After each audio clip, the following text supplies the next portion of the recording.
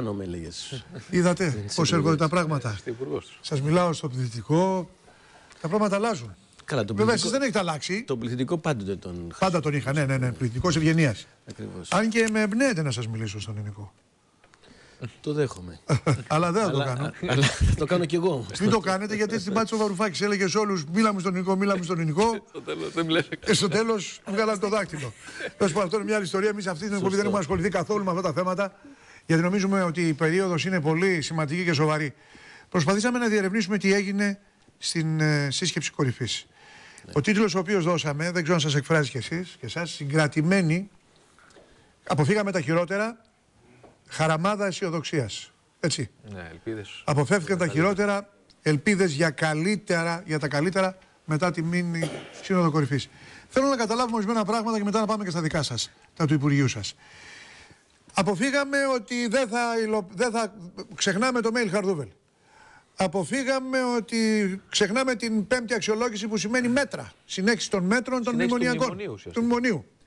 Αποφύγαμε ότι θα μας υποδεικνύουν εκείνη τι μέτρα θα πάρουμε, θα παίρνουμε μέτρα εμείς, αλλά θα θέλουν την έγκριση. Και για κάθε μέτρο που θα παίρνουμε και θα έχει δημοσιονομικό κόστος, θα πρέπει να έχουμε ένα ισοδύναμο. Και ότι αυτό θα πρέπει να το κάνουμε γρήγορα, αν θέλουμε να παίρνουμε για κανένα φράγκο, κανένα ευρώ. Είναι έτσι, το κατάλαβα σωστά, Περίπου. περίπου. Νομίζω ότι η κρίσιμη φράση είναι αυτή που είπε ο Πρωθυπουργός. Ότι τελικά το τρένο ξαναμπήκε στις δράκες. Ποιοι το είχαν βγάλει; Ε, ο Πρωθυπουργός, βέβαια, από την ε, θέση του ε, και καλά έκανε, μίλησε για κάποιους. Εμείς εδώ πέρα μπορούμε να είμαστε πιο ειλικρινείς μεταξύ μας. Υπήρχαν δυνάμεις ε, μέσα στην Ευρώπη οι οποίες δεν βλέπαν με καλό μάτι αυτή την καταρχήν συμφωνία με όλες τις ασάφειές της που είχε υπάρξει στις 20 Φεβρουαρίου. Γιατί δεν το βλέπανε με καλό μάτι; Όχι γιατί έχουν κάποια ανθεληνικά αισθήματα, διότι τελικά αυτή η υπόθεση της διαπραγμάτευσης είναι και ένα πολιτικό παιχνίδι. Το να αφήσεις, το να αποδεχθείς την μικρή Ελλάδα να έχει το δικό της ανάστημα, το να έχει τον δικό της λόγο, με βάση το μέγεθός της. Έτσι. Εμείς γνωρίζουμε ποια είναι τα μεγέθη μας. Ξέρουμε ότι είμαστε μια μικρή, αδύναμη χώρα, αλλά όμως θέλουμε να μας αντιμετωπίζουν ως έναν μικροϊδιοκτήτη, όχι, όχι ως εν- έναν ενοικιαστή και να μας αντιμετωπίζουν ισότιμα. Μήπως θέμε όμως και εμείς, γιατί λέγοντας ότι επιδιώξαμε, καταφέραμε, το θέλανε και εκείνοι, να έχει μία σάφια το κείμενο της συμφωνίας της 20 Φεβρουαρίου. Δεν έδινε τη δυνατότητα να αντιληφθούμε ούτε εμείς, αλλά ούτε εκείνοι, αλλά ούτε και ο κόσμος, τι ακριβώς ήταν αυτή η συμφωνία. Γιατί τελικά νομίζω ότι η εξειδίκευση της συμφωνίας έγινε χθες.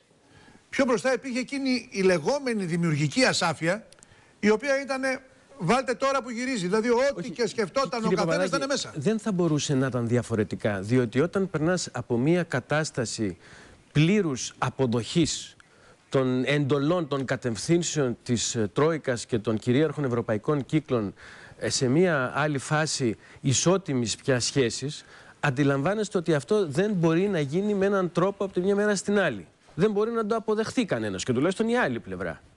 Άρα λοιπόν αυτή η δημιουργική ασάφεια, και δεν ξέρω τώρα αν είναι ο πιο πετυχημένος όρος αυτός, ήταν ε, η αναγκαία γέφυρα... Εκεί στον κύριο Ο Βαρουφάκη είναι Βαρουφάκη αυτό; ήταν αυτός ο όρος. Όχι, όχι, δεν είναι, δεν Ήτανε- είναι, δεν είναι ο κριτική. κύριος Βαρουφάκης το χρησιμοποίησε Δεν είναι αυτό. κριτική. Θα το, εγώ θα σκοτεινά σημεία να πούμε ότι είχε. Έτσι. Ε, Να το πούμε αλλιώς. Δηλαδή δεν έχει σημασία. Μας έχει να Πάντως κάναμε καταλάβουμε. κι εμείς λάθη ενδεχομένως Δεν, γιατί δεν, δεν, δεν είναι θέμα δώσαμε... λάθους. Δεν είναι θέμα λάθους.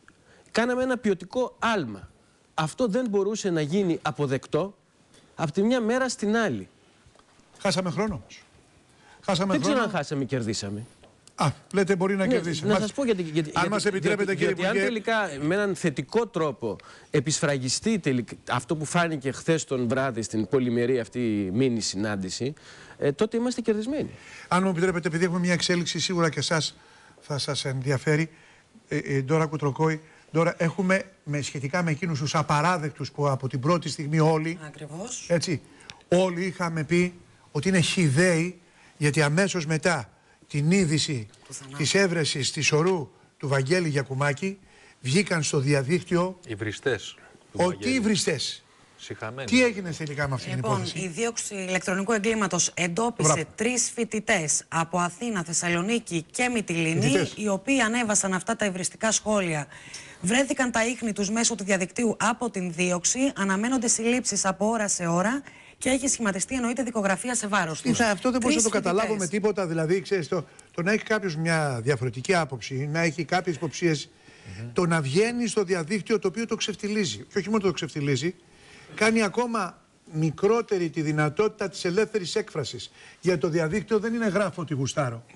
Εάν καταντήσουμε Κρίνεσαι και. ο καθένας μπορεί να γράφει ό,τι θέλει, όποτε θέλει, ό,τι θέλει, στο όνομα της ελευθερίας της έκφρασης, νομίζω ότι θα έχουμε ακριβώς τα αντίθετα αποτελέσματα. Εδώ είναι Και ποινικό ιδιαίτερα αδίκημα σημαντικό αυτό. είναι- Αυτό είναι ποινικό αδίκημα. Πέρα από ότι είναι ποινικό αδίκημα, πρέπει να Έτσι. ε, περιφρουρήσουμε την ελευθερία της έκφρασης. Και για να περι- περιφρουρήσουμε την ελευθερία της έκφρασης, θα πρέπει να απομονώσουμε Τέτοια κάτι τύπου σαν φαινόμενα. και αυτόν. Σωστά. Ιδιαίτερα σημαντικό είναι ότι αυτή τη στιγμή ερευνάται το γεγονός εάν αυτοί οι τρεις φοιτητές είχαν και σχέση με το περιστατικό. Εκτός από τα υβριστικά γνώριζαν σχόλια τον Είναι, δηλαδή. όμως, Βαγγέλη, είναι από